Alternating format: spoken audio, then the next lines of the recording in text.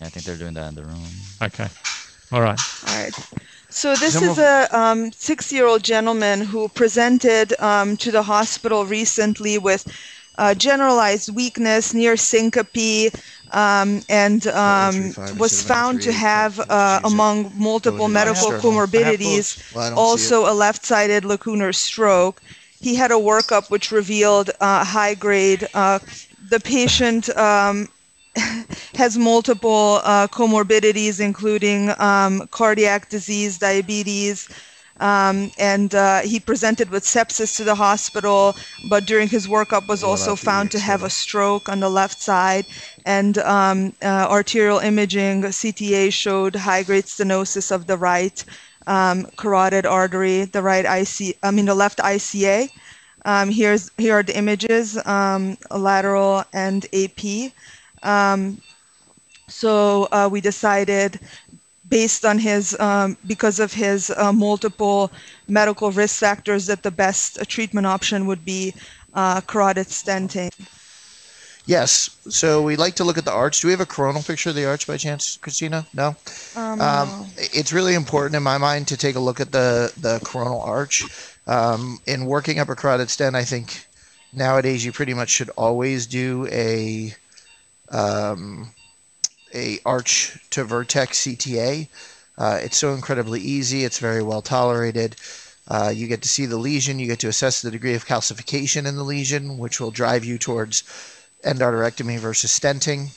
Uh, but most importantly, in terms of assessing transradial versus transfemoral, you get a chance to look at the arch and the relationship of the right innominate and the left uh, carotid, uh, left common carotid origin. Uh, Yeah. The first thing we do on starting is we do a head run to make sure there's no distal, uh, make, make sure we understand what the baseline anatomy looks like to compare to. After we place a carotid stent, we'll do a final head run uh, to evaluate it, make sure it looks good.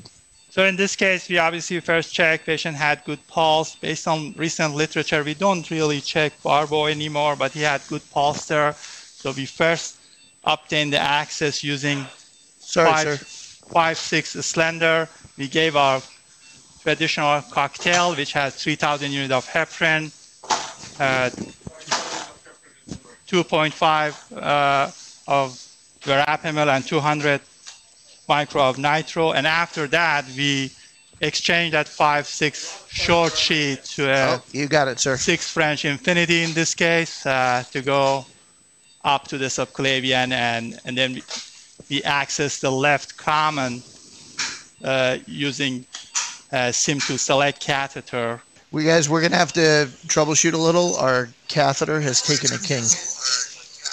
Okay. I completely, I do both procedures, uh, endarterectomy and carotid stenting. And uh, in my mind, I try to balance what I think is going to be best for the patient between the two. Um, so I mentioned some of those things before, looking at the degree of uh, carotid stenosis uh, that may be present. Um, in, in terms of calcification, if the lesion is highly calcified, then I favor endarterectomy over carotid stenting. Uh, that's one choice. The other thing that I look to do, stop that there, thank you. Uh, the other thing I look to look at is the intracranial collaterals. Um, there's some suggestion, it's a soft indicator, not a hard one, but uh, there's some indication that if you have poor intracranial collaterals, you have a higher likelihood of needing to shunt, which increases the time and complexity of the endarterectomy. Um, so I'll often pay attention to that. Um, other relevant uh, pieces of, of things to consider the aortic arch anatomy. If the aortic arch looks extremely angry and difficult to navigate, then I will. So I'm going to bring this a, a good bit higher, guys, than I normally would because we want to get past that kink. And Yep. I'm hopeful. I don't know if you guys saw, but I, I brought the kink back and resolved it, and then brought this wire up through where the kink was. So I brought it right to the origin of the external. Now I'm going to bring up the filter wire so I have access with the wire. Then I'll pull it back just a little bit, cross the lesion, and bring the stent up.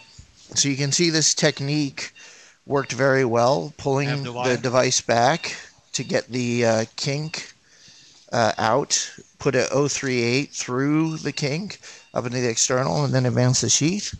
So now the only issue now is going to be if the we see we have the distal embolic protection system deployed, which is an EPI filter wire. Uh, the only issue now is going to be is that kink going to pose a problem for the stent. Uh, we're going to find that out in one second. It sh- should not there. I just went by it. So that worked out just fine. So we go past the area of stenosis, past where that acute curve is, and then begin to come back. By the way, 8 by 29 carotid stent. So the stent's now deployed, no problem. We have a 5 by 20 balloon. So now we exchange the stent out. They've got that now. I'm going to wipe down the wire while they put the uh, balloon on and we'll be done in the next four or five minutes. You can see the filter wires there. I think another trick to emphasize is always look at your unsubtracted image. Carotid stents are typically done with the patient awake, so you can see the roadmap degrades over time. So we we know where we're going to put the stent relative to the bony anatomy, so that even if the patient moves, there's no issue. Okay, so I always pass the area of stenosis and then come back. So if you don't have redundancy, when the balloon goes up, it doesn't parachute up. Okay, we're going to angioplasty anesthesia. Please have atropine at the ready. Okay. Perfect. All right, let's go. Okay, going up. Quickly. We go quickly Two, up to the four, pressure. six, oh, you see that? It came back. Eight, It's all right. ten. One, One, two, two, three. Pop and pull. Perfect. So it came back just a smidgen right before we went up. So I usually don't double plasty. We're going to do it a little bit here. I'm going to go just a touch higher. All right, let's go there. Okay. So we're going to do one more. Four, six, eight, ten. One, two, Good. Pop three. and pull. Yep, that's me, sir. And your carotid artery is open and fixed. So now I like to pull the filter wire in, and I like to leave just a little bit out so that there's still a little sac to hold any embolic material that it might have caught. Make sure it's not caught. Pull it out. I back bleed. So if there's any little junk in there, that's all out.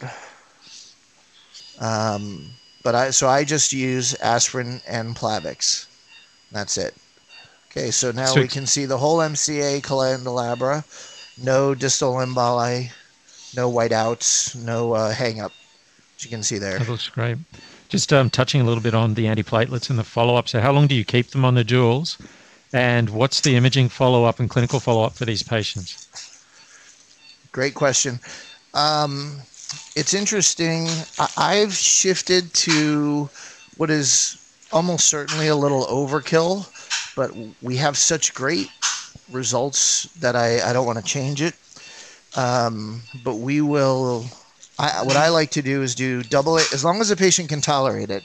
Obviously, there's plenty of exceptions, but I tend to do double antiplatelet therapy. I get a ultrasound the next morning to make sure everything looks good. Hold on, I'm going to take this final picture. We can pull back. Looks great. Let's Nice do work. one with a breath hold. Let's just do one with a breath hold. Sir? Y- yes, can you hold one second? I'm just going to ask you to take a deep breath and hold your breath. Taking a breath right now. Hold your breath. Don't move.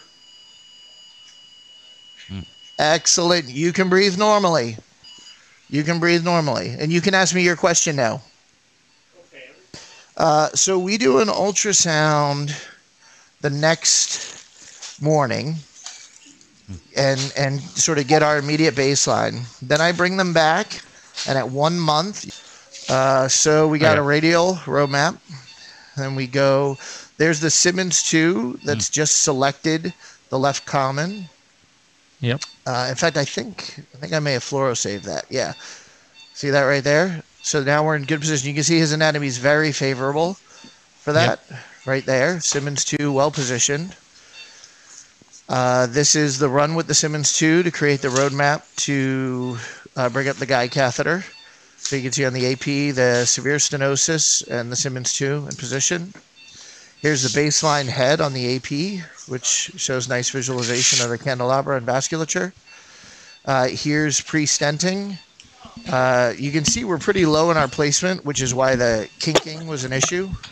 Yeah. Uh, so then we repositioned, came up much higher, dropped the stent, but in dropping the stent, it brought us low again. Um, and so uh, then we recaptured. There's the final AP, which shows that excellent. Here's the final neck. Well, that's the one where we breathe. There's the final neck run. You can see excellent resolution of the stenosis.